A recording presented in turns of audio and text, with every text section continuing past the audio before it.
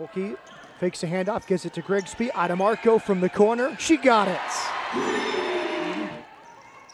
Now it's Smith. Inside, Adamarco open, threw it back to Crispin. And she'll finish with the left hand.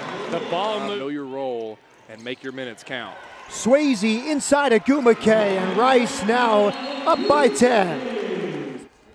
Adamarco, left side Swayze. There's Smith. Open and she'll score. The rebound.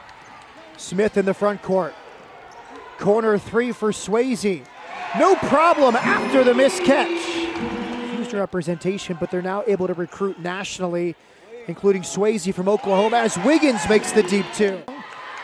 Crispin with the offensive board. Grigsby as the shot clock expires. Rice leads by 30 at 5 to shoot. Ogwumike. Step out three, and she got it right in front of the bench. Execute an offense like this. Exactly, and a, and a lot of these players are pre-health, pre-med majors. Arrogance, maybe even a little bit of overconfidence. Steal by Grigsby up to Timmy Allow.